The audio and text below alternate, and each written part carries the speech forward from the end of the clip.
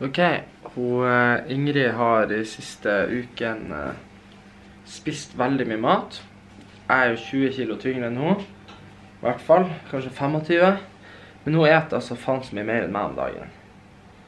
Og vi har ikke trena noen av oss. Så vi lurer litt på om hun kanskje, med tanke på hennes nylige humørsvingninger, kvalme og sånne ting, om hun kanskje er gravid. Og det er jo litt kjedelig hvis hun er. Så vi har kjøpt en test.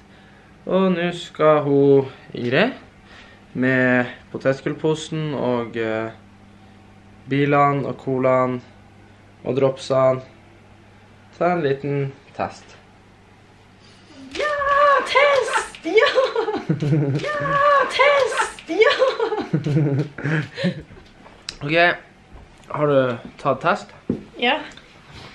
Hva skal ungen vår hete? Hvis det er en unge. Jeg har ikke tenkt på det. Vi har snakket en del om eh, det tidligere.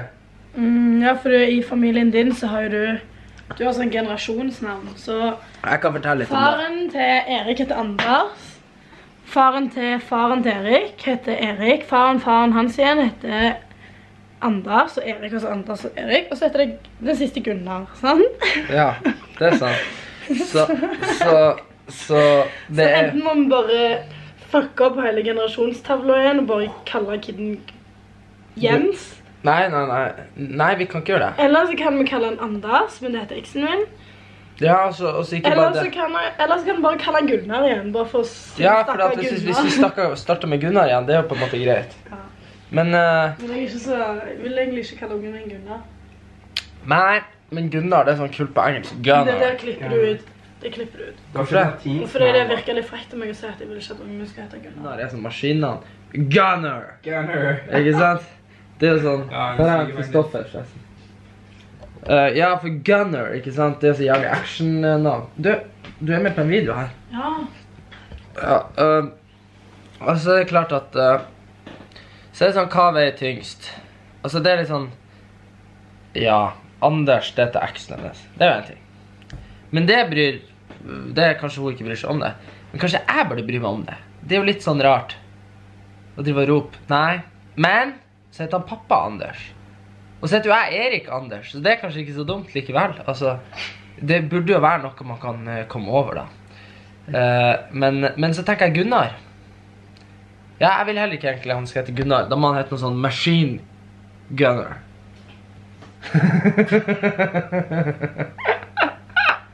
Det var litt gøy. Machine Gunner. Ah. Nei, men eh, Ok, men eh, hvis det var ei jente, da, hva var det du fant ut da? Mm, saga. Saga. Altså, unnskyld, men det høres ikke bra ut på nordnorsk. Saga. Syns du Saga høres fin ut? Hun kommer til å bli kalt Motorsaga. Vinkelsaga. Altså, hun blir å få et skikkelig kjipt liv. Hva du tenker på, da?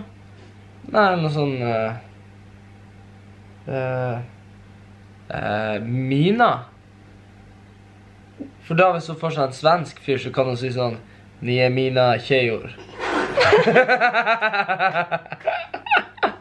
Nei. Nei. Så, nei, da kan jeg si det til dere.